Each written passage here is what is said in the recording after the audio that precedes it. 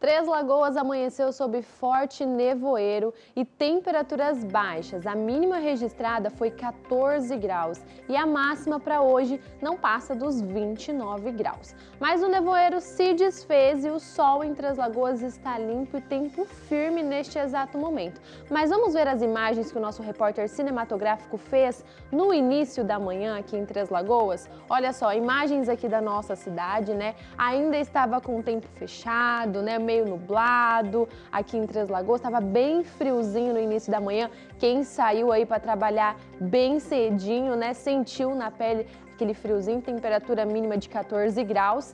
E olha, essa daí, essa essas são as temperaturas para hoje, porque amanhã né, as temperaturas já voltam a subir novamente. Então vamos saber como que fica o tempo para amanhã aqui em Três Lagoas e nas principais cidades da costa leste de Mato Grosso do Sul.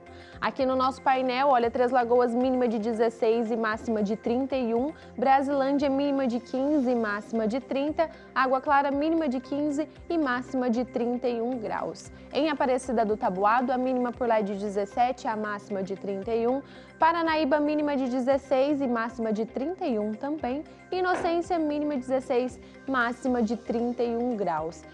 Durante essa semana, né, que a gente tá aí, as, as temperaturas ficarão assim, máxima de 31, 32. Eu e Israel, a gente estava conversando aqui nos bastidores, porque parece que vem uma outra frente fria aí nas próximas semanas, né? Mas vamos aguardar para a gente passar as informações corretamente para vocês.